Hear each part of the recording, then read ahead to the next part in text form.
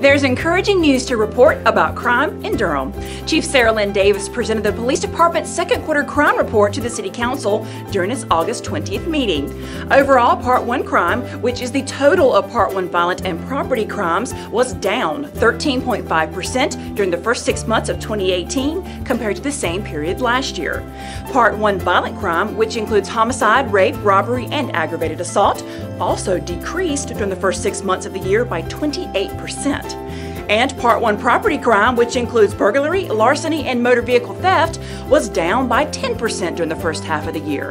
In fact, robberies, aggravated assaults, burglaries, larcenies, motor vehicle thefts, overall Part 1 violent crime, and overall Part 1 property crime were all at three year lows.